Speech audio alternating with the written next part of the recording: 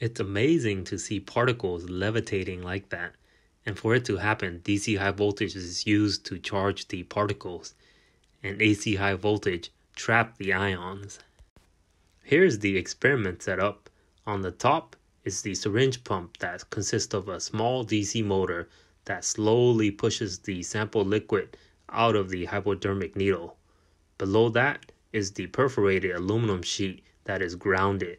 Inside of that is the ring electrode that will trap ions. On the left is the high voltage power supply from Spruce Science.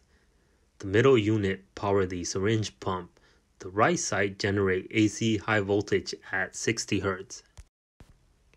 For sample particles, I'm going to mix cornstarch with isopropyl alcohol.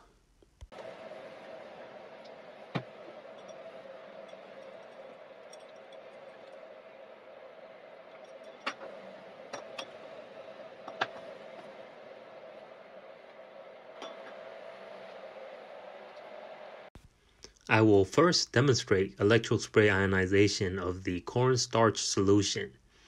High voltage power supply is used to apply 4500 volts to the liquid sample.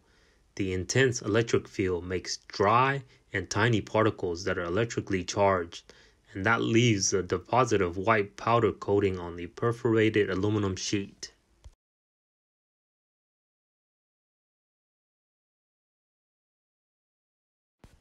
Let's get a closer look of the ring electrode.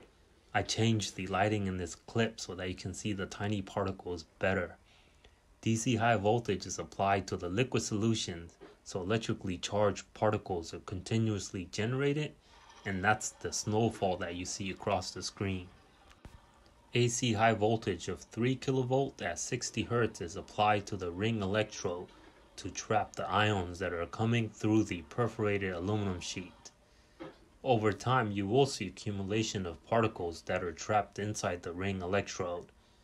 The working principle is doing half the AC cycle, the ring electrode will be the same polarity as the charged particles, so the particle will feel the repulsive force. In the next half cycle, when the polarity of the power supply changes, it will feel an attractive force. This periodic application of alternating repulsive and attractive potentials confine the charged particles in a volume of space.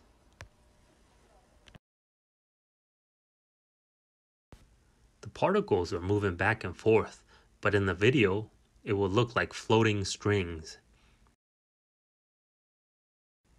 All of this is happening in air, so that simplified the experiment setup.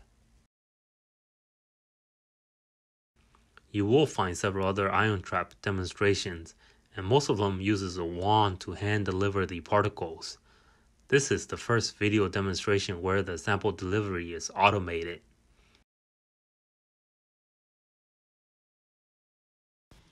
Ion traps are widely applied in chemistry and physics laboratories. They can be used as mass spectrometers, storage devices, and as tools for precision spectroscopy and metrology.